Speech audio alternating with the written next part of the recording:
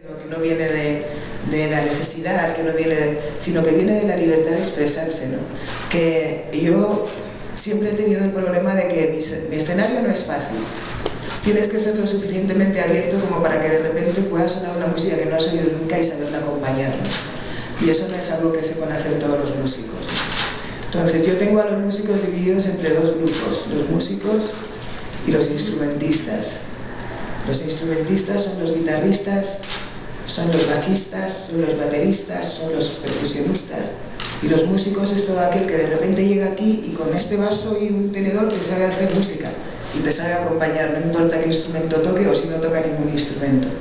¿Me entiendes? Y yo siempre trato de acompañarme de músicos así, músicos que son música, ¿sabes? Independientemente del instrumento que tocan, son música. Gracias. ¿Qué nos puedes adelantar del, del nuevo disco? Si fuera así una manera como de exprimirlo, ¿qué podría salir? Bueno, cogí a este grupo de locos, que son Ramón Porrinas, eh, son el Piraña Porrinas, que es su hermano, que es tremendo, increíble, no sé, artista.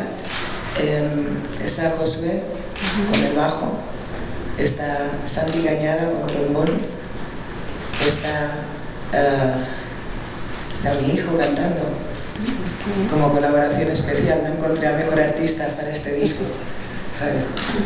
Está Jesús de Rosario, que es tremendo guitarrista, ¿sabes? Somos un grupo de, ¿sabes? Está Genara Cortés, que canta, que es impresionante. Está él, que también canta, que es maravilloso, no sé.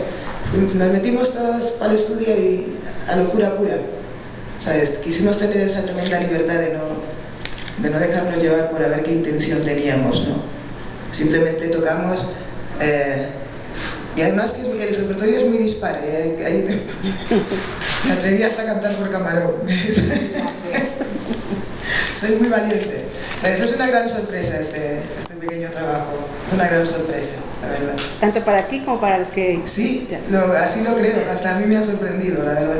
Estoy, muy, estoy gratamente sorprendida. Es lo más valiente que